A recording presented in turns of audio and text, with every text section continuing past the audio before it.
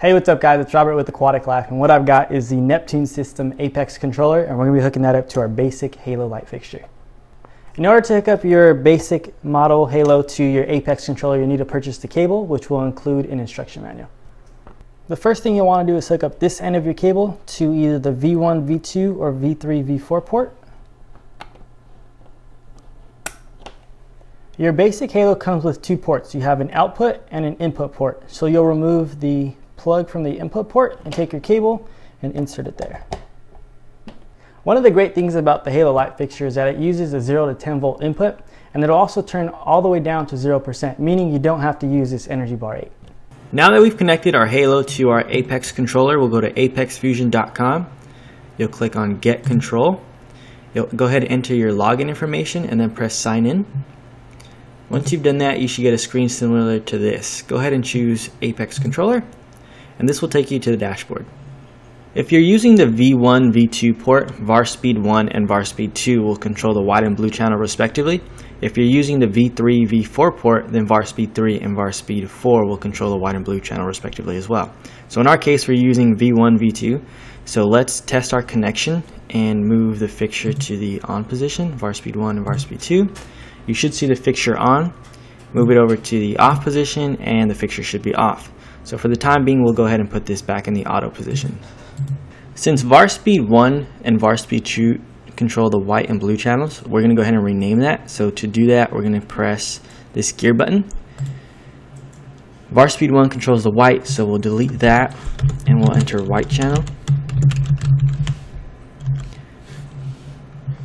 Now it's important that you send everything to the cloud. So press this button here and you'll see that it says Update Apex. Wait for that information to send and we'll press OK. Let's go back to the dashboard. VarSpeed 2 is the blue channel, so press the gear button, delete this, enter blue channel, and now we'll send that to the cloud. Press OK. We'll go back to the dashboard. This is the dashboard button here. And now if we look at our dashboard, we'll see that it says white channel and blue channel. Let's go ahead and create a graph for our white channel. We'll click on the gear button. You'll click on this wizard tool. If this is the first time you're setting up the white channel, you'll get a message like this. Just press OK. You have the ability to enter each point manually, or you can drag and drop each one. Personally, I think it's a little easier if you just enter them manually. So you press this gear button, go to adjust point, and then just enter whatever time you want it to start. So I'm going to enter 6, and let's have it start at 0%. Actually, let's do 7. Power 0%, press OK. Now let's adjust this second point. Press adjust point let's start at 7 actually let's do 9 and let's make this go to 65% okay so the next point we'll do is 1130 make that 100 which is perfect the next point we'll do 330 adjust point 15, 30. And let's bring this down to 65%. Okay. Adjust point. We'll make that 430. And let's bring that down to 1%. This last point, we'll have that go to 11. Oops. 23 forget we're military time and this should be somewhat of a moonlight kind of thing here so here's what your graph should look like or what it will look like now let's go ahead and send this to the cloud okay go back to our dashboard and let's create one for the blue channel click on the wizard tool Again, we'll get the same screen just because it's the first time that we're setting it up. So we'll press OK. Click on this button here. Adjust point. Let's say 6 in the morning. We'll start that at 0. Okay.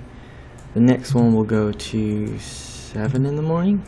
7, 0, and let's say that's going to be 45%. The next point will be 1030. Tab 30, 100% works okay. Let's do this 330, so 1530, and let's change this to 45%. Okay. The next point we'll do is going to be 5 o'clock, so 17, so 0. Bring this down to 5%. This point will be 11, oops, do the same thing, 23, 0, 0. And again, this will also go down to 5. So now that we've created our blue graph, we can compare the two. So if you click on this button here, click on white channel. So this orange line represents your blue channel. This blue line will represent the white channel. And you also have the ability to demo that. So let's get out of that. We'll send it to the cloud first.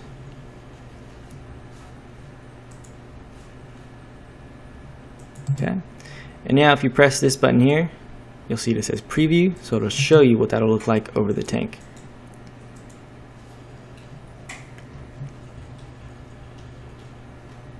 So if you look at your fixture, you should see it start to gradually ramp up, and then you should see it start to ramp down. And then here's when the moonlight will kick in.